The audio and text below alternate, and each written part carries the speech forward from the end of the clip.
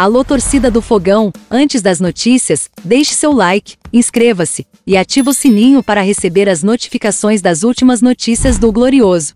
O volante Tietê lamentou mais um tropeço do Botafogo dentro de casa, desta vez contra o Atlético Goianiense. O Glorioso jogou a maior parte do segundo tempo com um jogador a menos, depois que Felipe Sampaio foi expulso. Entramos querendo a vitória acima de tudo, infelizmente não conseguimos. A partida ficou mais difícil depois que perdemos um homem, mas também somamos um ponto, é saber jogar o campeonato.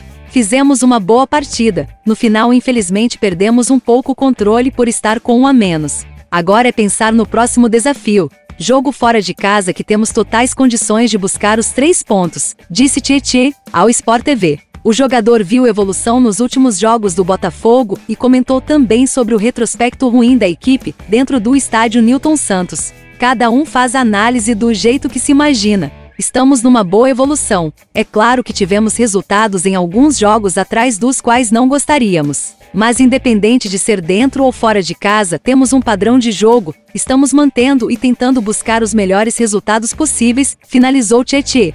Essas foram as últimas notícias do Glorioso. Não esqueça de se inscrever e deixar seu comentário.